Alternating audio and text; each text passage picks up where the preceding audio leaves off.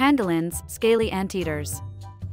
The shy, harmless pangolin is becoming increasingly well known for one reason it's believed to be the world's most trafficked non human mammal. Demand for pangolin scales and meat is driving this mammal to extinction.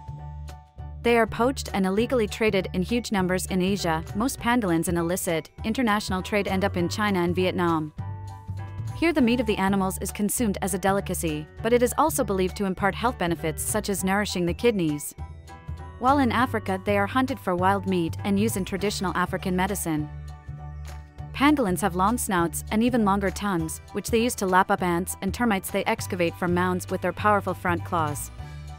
These solitary, primarily nocturnal animals are easily recognized by their full armor of scales. If touched or grabbed, it will roll up completely into a ball, while the sharp scales on the tail can be used to lash out. They can release a stinky fluid from a gland at the base of their tails as a defense mechanism.